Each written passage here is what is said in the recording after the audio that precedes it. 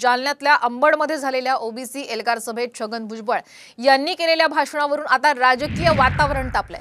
भुजबळांवर भाजपचा दबाव असल्याची चर्चा आहे. मराठा ओबीसी वादंग निर्माण करण्यासाठी छगन भुजबळ यांच्यावर वरिष्ठ भाजप नेत्यांनी दबाव टाकला असावा असा आरोप उद्धव ठाकरे गटाचे नेते भास्कर जाधव यांनी केलाय. तर माझ्याही कानावर ही चर्चा आली आहे असं विरोधी पक्षनेते विजय वडेट्टीवार म्हणाले.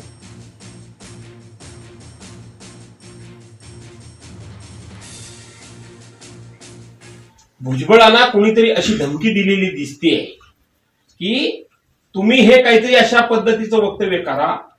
दोन समाजामध्ये अशा पद्धतीचे वादंग निर्माण होतील अशा प्रकारचं वर्तन करा. न पेक्षा तुम्ही जामिनावर बाहेर आहात.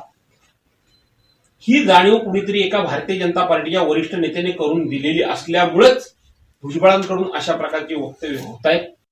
भाजपचे नेते भुजबळांना ब्लॅकमेल करून मराठा आणि ओबीसी समाजामध्ये भांडण लावण्यासाठी अशा सभा आयोजित केल्या जाते असा आरोप बाळासाहेब सराट यांनी केलेला आहे. नाही ह्या चर्चा मी पण ऐकल्या. आहेत हो. त्यामध्ये माझ्या पण कानावर तो विषय आलेला आहे. पण मी विरोधी पक्षाचा नेता आहे. मी कुणावरही आरोप करण्यापूर्वी मला त्या संदर्भात थोडी अधिक माहिती घेऊ द्या. आणि नंतर मला जर वाटलं की हे यामागे कुठेची तरी स्पॉन्सरशिप आहे कोणाचा तरी अदृश्य हात आहे मग मी त्याचा पडदा टराटरा फाडल्याशिवाय राहणार